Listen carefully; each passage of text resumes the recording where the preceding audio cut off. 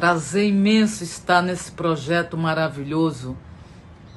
Muito bom, muito obrigada. Me sinto honrada em mais uma vez participar desse projeto Lê para mim, porque a leitura é tudo, né?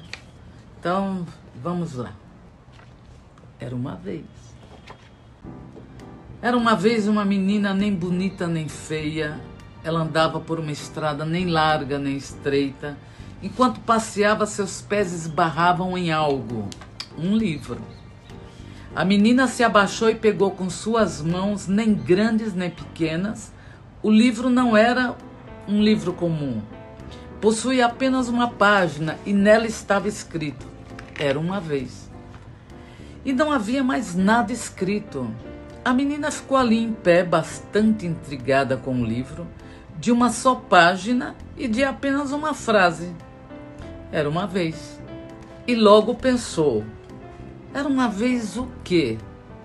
Cadê a história? E sentou-se no chão para pensar.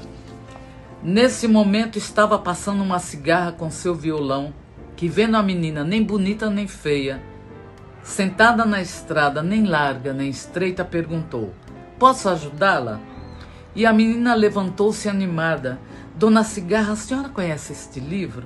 A cigarra sorriu um sorriso de cigarra e respondeu: Conheço sim, menina. E a senhora sabe qual é a história desse livro? Era uma vez uma cigarra que cantava enquanto as formigas trabalhavam. A cigarra, percebendo que a menina havia feito cara de desanimada, interrompeu a história e perguntou: O que foi? Não gosta da minha história? Não, não é isso, respondeu a menina. É só que a história eu já conheço. A cigarra então continuou o seu caminho e a menina sentou-se novamente na estrada, nem grande nem pequena, e ficou olhando para aquele livro nada comum. Logo apareceu uma carruagem que parou bem em frente à menina. E uma princesa vendo aquela menina nem bonita nem feia, sentada na estrada, nem larga nem estreita, perguntou: Posso ajudá-la? E a menina levantou-se animada. Sua Alteza conhece este livro?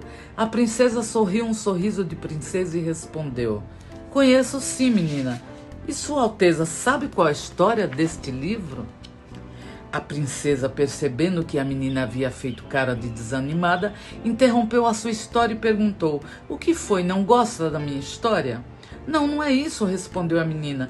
É só que essa história eu já conheço. A princesa continuou seu caminho e a menina sentou-se novamente na estrada, nem grande nem pequena, e ficou olhando para aquele livro nada comum.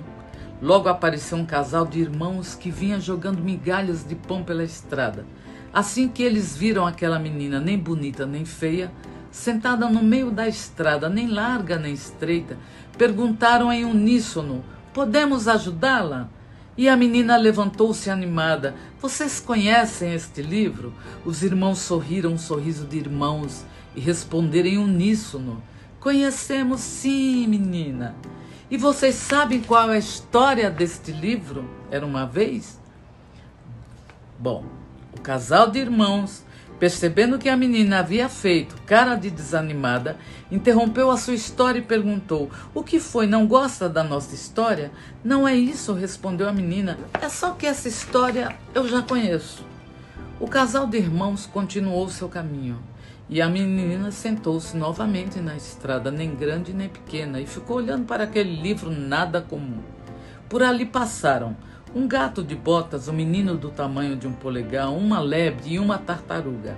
Porém, todos começavam a contar histórias que a menina já conhecia, o que a deixava cada vez mais desanimada. Até que passou uma velha, bem velhinha. Você achou o livro? Ah, a senhora também conhece este livro? Claro que conheço. Fui eu quem o escreveu.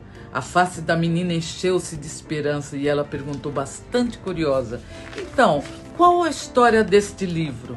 A velhinha, bem velhinha, riu e perguntou: Conte-me você como que encontrou esse livro. E a menina começou do começo, bastante empolgada. Contou quando vinha andando pela estrada e seus pés esbarravam no livro.